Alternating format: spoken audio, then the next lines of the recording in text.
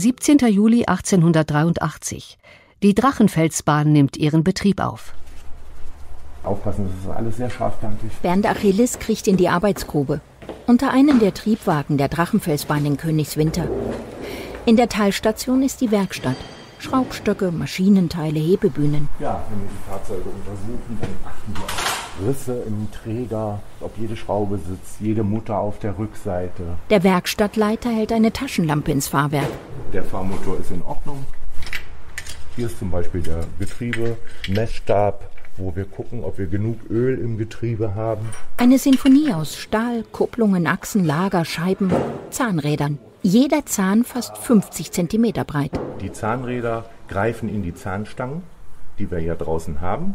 Und wir werden angetrieben über die Zahnräder und bremsen auch über die Zahnräder. Das Zahnrad in der Mitte wird flankiert von spiegelglatten Eisenbahnrädern. Unsere Räder laufen eigentlich nur mit. Die haben keine Funktion. Da unsere Strecke schon mit 17,2 Prozent anfängt, hätte keine Bahn der Welt eine Chance, dort hochzukommen. Es würde sich nur reiben, Eisen auf Eisen und die Bahn würde zurückrollen. Darum Zahnrad. Es riecht nach Öl und Schmierstoffen. Jetzt drehen wir praktisch den Motor mit der Kardanwelle und das Getriebe. Wir inspizieren das Getriebe, das die Kraft vom Motor auf die Zahnräder überträgt. Sie sind das Herz des Technikwunders am Drachenfels. Guten Morgen, Frau Achenbach. Durch den Spalt zwischen Grube und Triebwagenrand sind Füße zu sehen. Unsere Geschäftsführerin. Wir sitzen in der Geschäftsleitungsstelle der Bergbahn im Siebengebirge GmbH auf dem Wintermühlenhof in Königswinter. Fiona Luise Strefe-Mühlens-Achenbach. Ich bin hier geboren, ich bin in Königswinter zur Schule gegangen. Das gehört einfach zur Region. Nachfahren des Gründers der Duftmanufaktur 4711. Die Duftmarke liegt jetzt lange hinter uns, aber die Drachenfelsbahn ist wirklich mittlerweile Zentrum, jedenfalls meines Lebens. Mit Fiona Achenbach steht die erste Frau an der Spitze der Bergbahnen im Siebengebirge. So der offizielle Name des Unternehmens. Ich würde sagen, längst überfällig. Wir sind im Jahr 2023. Es ist erstaunlich, oder? Dass es so lange gebraucht hat, bis eine Frau, in dem Fall ich dann, in eine führende Position auch gerückt ist. Seit Anfang der 1910er Jahre ist die Drachenfelsbahn im Besitz der Familiendynastie. Parfümeur Ferdinand Mühlens kauft beide Bahnen im Siebengebirge. Die ältere fährt zum Drachenfels, die sechs Jahre jüngere auf dem Petersberg. Wurde in den 60er Jahren eingestellt. Da hängt noch ein Fahrplan von der Petersbergbahn. Die Drachenfelsbahn ist Deutschlands älteste Zahnradbahn. Transportmittel und Touristenattraktion. Sie ist ein Star von Anfang an. Und der ist noch aus der Gründerzeit. Das war früher ein Vorstellwagen. Ein Wagen, zu Dampflokzeiten. den die Dampflok den Berg hochschiebt und talwärts abbremst. Und hier können Sie sogar noch das Typenschild erkennen. 1883. Im Sommer 1883 werden im Heizkessel der Lok die ersten Kohlen verfeuert. Wird der erste Dampf erzeugt, der den Kolben bewegt und das Rad in Schwung bringt. Die Lok treibt den Wagen mit erlesenen Gesellschaften den Berg hinauf und überwindet 220 Höhenmeter. Es gab mehrere Fahrten, bevor das Publikum überhaupt zugelassen war. Ansgar Sebastian Klein, Am 9. Juli gab es eine polizeiliche Fahrt. Historiker, Da wurde dann geguckt, ist die Bahn tauglich. Kurator einer Ausstellung über die Bergbahnen im Siebengebirge. Am 13. Juli gab es eine Fahrt, da wurden die Damen der Gesellschaft hochgefahren. Am 15. Juli sind dann die Honorationen der Stadt mitgefahren, der gesamte Stadtrat. Und oben auf dem Berg gab es eine große Tafel, wo gefeiert wurde. Und am 17. Juli ist dann der offizielle Verkehr für das Publikum eröffnet worden. Seit 140 Jahren fährt die Drachenfelsbahn eben diese Strecke, Also Karl May war 1897 mit der Bahn auf den Drachenfels gefahren. befördert Reisende, Ah, das Gästebuch. neugierige, berühmte Menschen. Der neue Winnetou, Andy Warhol, Mike Krüger, Toni Schumacher. Konstanze Klosterhalfen, Coco wird sie genannt. Das ist die Mittelstreckenläuferin aus Königswinter, die seit letztem Jahr eben auch unsere Botschafterin ist. Und was Sie hier sehen, sind zum Teil noch Zahnstangen aus der Gründerzeit. Zwischen den Schienen liegt der Mittelstrang, der aussieht wie eine schmale Hühnerleiter mit Sprossen aus dickem Stahl. Die sind immer getrennt. Sehen Sie hier, zum Beispiel ein Anstoß. Und hier vorne, In die Sprossen greifen die Zähne. denen der Bahntyp seinen Namen verdankt. Wir haben über 500 Zahnstangen verteilt auf der ganzen Strecke. Die Strecke ist ja 1,5 Kilometer lang. Wie an einer Strickleiter hangelt sich die Bahn bergauf. Ein System, das Anfang der 1860er Jahre ein Schweizer Lokomotivbauer entwickelt. Niklaus Rickenbach. Per Leiterzahnstangen und Zahnrad will der gelernte Mechaniker die Eisenbahn über die Alpen führen. Wir fahren hier die Riggenbach-Technik, die bis zu einer bestimmten Prozentzahl oder Promillzahl zugelassen ist. Dieses System war halt praktikabel und das wurde dann vermarktet. Er hat eine eigene Firma gegründet, eine Gesellschaft mit Kollegen, die das Patent ausgewertet haben. Mitte der 1860er Jahre fährt die erste Zahnradbahn der Welt am Mount Washington in den USA. Überall gab es Eisenbahnstarts ab. Also das war die Technik der Zukunft damals. Im Mai 1871 erfüllt sich Riggenbachs Traum. Mit seinem Patent erklimmt die erste europäische Bergbahn die Rigi ein Bergmassiv in der Schweiz. Die Rigi-Bahn gilt als der letzte Schrei und löst europaweit einen Boom aus. Und in Königswinter gab es schon in den 1870er Jahren Gerüchte, dass so eine Bahn kommen würde. Längst ist der Drachenfels ein beliebtes Reiseziel.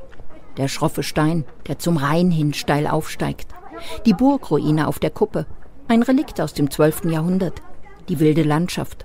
Der Reichtum des Burggrafen vom Drachenfels rührte von den Steinbrüchen her, die ja schon seit der Römerzeit betrieben wurden. Baustoff für die Pfeiler am Kölner Dom. Es gibt ja die Anekdote, dass der Burggraf vom Drachenfels keinen Edelstein in seinem Ring hatte, sondern einen Trachit von seinem Steinbruch, weil das mehr wert war als jeder Edelstein. Der atemberaubende Blick über den Rhein aus rund 300 Metern Höhe. Die Legenden vom Drachen, der in den Höhlen lebt und von Siegfried bezwungen wird. Im 18. Jahrhundert finden Gelehrte die mittelalterlichen Manuskripte der Nibelungensage. Der blutige Mythos wird zum Nationalepos und der Drachenfels zum Sinnbild für die Rheinromantik. Vorreiter ist der britische Dichter Lord Byron, der auf dem Weg in die Schweiz am Drachenfels vorbeikommt. Ihn zwar nicht besteigt, sich aber vom Anblick inspirieren lässt. The castled crag of Drachenfels frowns o'er the wide and winding brine. Weit droht ins offene Rhein gefüllt der turmgekrönte Drachenstein, whose breast of waters broadly swells. Die breite Brust der Wasser schwillt an Ufern hin, between the banks which bear the vine, begrenzt vom Wein, and hills all rich with blossom trees, und Hügeln reich an Blüt und Frucht, and fields und Auen, wo Traub und Korn gedeihen, which promise corn and wine. George Gordon, Lord Byron. Das machte den Berg international berühmt. Für englische Reisende war das eine Pflichtstation. Auch der englische Maler William Turner läuft am Rhein entlang. Bekannt als ein schneller Wanderer zeichnet er im Gehen, malt Aquarelle, unter anderem vom Drachenfels. Der Massentourismus, der mit Eisenbahn und Dampfschiff gefördert wurde, war in der zweiten Hälfte des 19. Jahrhunderts voll auf den Drachenfels ausgerichtet. In Dortmund gründet sich die Deutsche Lokal- und Straßenbahngesellschaft die erste Eigentümerin der Zahnradbahn. Die Bauarbeiten haben begonnen im November 1882. Bäume fällen, Felsbrocken räumen, Strecke ebnen, Gleisbett bauen, Schienen legen. Am 17. Juli 1883 hängt der erste Fahrplan und die Linie ist eröffnet. Sofort ist Deutschlands erste Zahnradbahn ein Publikumshit. Die Bahn hat dann auch versucht, durch ein Ausweichgleis einen schnelleren Takt zu machen. Wir haben hier unten zwei handbetriebene Weichen. Das Komplizierte an unseren Weichen ist nicht nur, dass die Weiche sich bewegt, sondern auch die Zahnstange. Sie muss immer mit, sonst könnten wir nicht hier drüber fahren. Ein Jahr nach Einweihung der Zahnradbahn steht an der Trasse die nächste Attraktion. Mittelstation Schloss Drachenburg. Schloss Drachenburg. Bauherr ist ein Börsenmakler, der sich eine Art Neuschwanstein hoch über dem Rhein errichten lässt. Eine Villa mit Türmchen, Erker, Zinnen. Er hätte das für eine Geliebte gebaut, die dann nie eingezogen ist. Kai Rode sitzt am Steuerpult. Da gibt es also die wildesten Geschichten. Er bedient Hebel, Schalter, Knöpfe. Per Pedal bremst er den Zug. Per Hydraulik öffnen sich die Türen. In einem früheren Leben war Kai Rode Schauspieler. Jetzt ist seine Bühne der Triebwagen, ein fahrendes Pendel zwischen Tal- und Bergstation. Wer mit dieser Bahn fährt, entscheidet sich für eine Reise in die Entschleunigung. Wir sind begrenzt hier oben in dem Steilstück auf 14,5 km/h. Wenn wir schneller fahren hier, dann wird der Wagen automatisch gebremst Und auf dem Rest der Strecke bei 18 bis 19 km/h werden wir auch automatisch gebremst. Der älteste noch fahrende Triebwagen, Baujahr 1955. Der jüngste Ende 1970er Jahre. Das ist die Stelle, wo wir da mal hupen müssen, wegen des Übergangs. Nichts Digitales. Mechanik und Elektrizität. Der erste Triebwagen hängt im Juli 1953 seine Bügel an die Oberleitung. Bis dahin werden Kohlen geschippt. Das ist irgendwie schon toll. Und ich denke, dass Ferdinand das auch in der Hand gehabt hat. Oh ja, bestimmt. Ansgar Sebastian Klein und Fiona Streve-Mühlens-Achenbach beugen sich über Akten. Mehr als 100 Jahre alt. Originalpläne, Pachtverträge, Korrespondenzen von Ferdinand Mühlens. Ferdinand Mühlens hatte seinen Unruhesitz hier im Siebengebirge auf dem Wintermühlenhof genommen und seine Leidenschaft ausgelebt. Im Wintermühlenhof, dem Familiensitz am Fuße des Petersberges, widmet sich Ferdinand Mühlens seiner neuen Errungenschaft. Er gründet eine Aktiengesellschaft und nennt sie Bergbahnen im Siebengebirge. Die Drachenfelsbahn hat er sicherlich gerne genommen, weil die war ja ein Unternehmen, was Gewinn abwarf. Die Petersbergbahn war immer ein Verlustgeschäft und man hatte als Ursache auserspäht, dass die Talstation der Petersbergbahn viel zu weit vom Staatsbahnhof und von den Touristenströmen weg war. Ab 1927 gab es eine Autostraße auf dem Petersberg und seit 28 eine Buslinie. Die Petersbergbahn ist Geschichte. Der Plural ist geblieben. Und der ungebrochene Erfolg der Drachenfelsbahn. Trotz Weltwirtschaftskrise zweier Weltkriege und der nationalsozialistischen Regierung.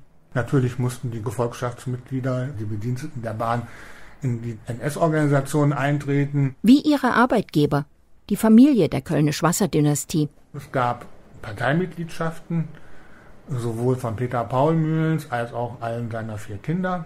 Aber es gibt jetzt keinen Nachweis, dass irgendwelche Aktivitäten innerhalb der Partei erfolgt sind. Man wollte dem Regime gefallen. Kurz vor Kriegsende wird der Bahnverkehr eingestellt. Bomben fallen auf Königswinter und die Gleise. Zwei Jahre nach dem Sieg über das Dritte Reich nimmt die Lokomotive wieder Fahrt auf. 1958 ist ein Schicksalsjahr. Im Juli feiert die Bahn 75-jähriges Jubiläum. Im September 1958 kam es zu einem Unglück, als bei einem Bremsmanöver der letzte Zug des Tages bergab aus den Gleisen sprang. Es gibt 17 Tote und 112 Verletzte. Das kleine Königswinterer Krankenhaus war gar nicht auf eine Riesenanzahl von Patienten eingerichtet. Für die junge Bundesrepublik war das schon ein schreckliches Ereignis. Die Dampflok kommt aufs Abstellgleis. Seither pendeln die elektrischen Triebwagen unfallfrei zwischen Berg und Tal. Das war das Bremsgeräusch, damit hält er die Bahn an. Ausgestattet mit einem Sicherheitssystem.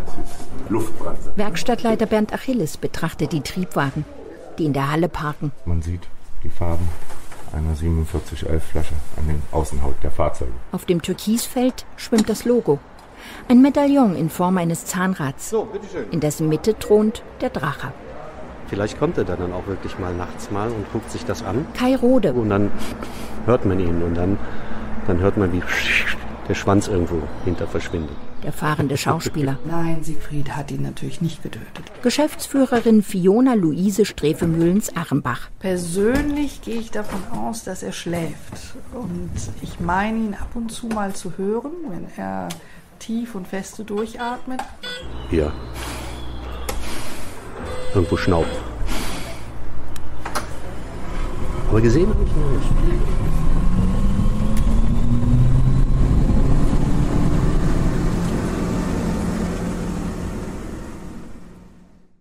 Im Zeitzeichen erinnerte Claudia Friedrich an die Inbetriebnahme der Drachenfelsbahn heute vor 140 Jahren. Redaktion Matti Hesse